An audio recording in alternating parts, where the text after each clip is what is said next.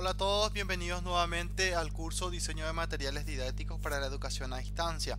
Les saluda Miguel Recalde. En este video vamos a ver cómo podemos trabajar con galería de imágenes dentro de Excel Learning.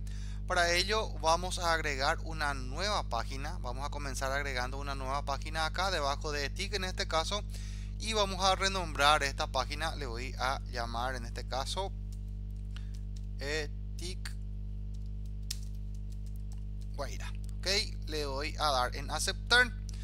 Como siempre voy a añadir un texto libre ¿sí? y dentro de este texto libre entonces voy a agregar un poco de información que yo ya lo tengo ya definido. Entonces le digo acá quiero agregar un texto libre ahí.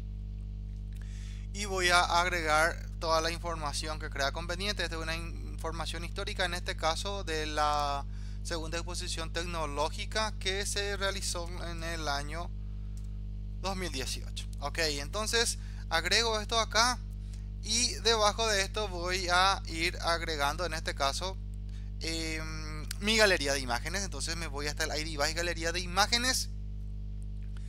Y acá em, le voy a llamar galería etic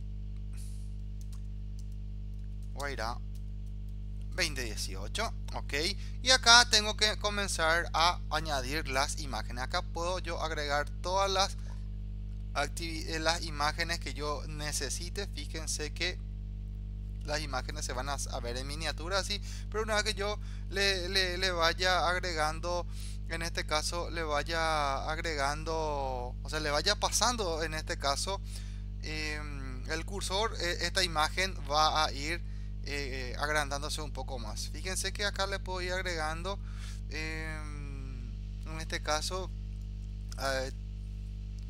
actividades culturales asociación astronómica. Y puedo ir agregando todas las imágenes en este caso que crea conveniente. Entonces, este era mi presentación de búsqueda y gestión de la información científica. Y así voy añadiendo todas las otras imágenes que crea conveniente dentro de esta galería.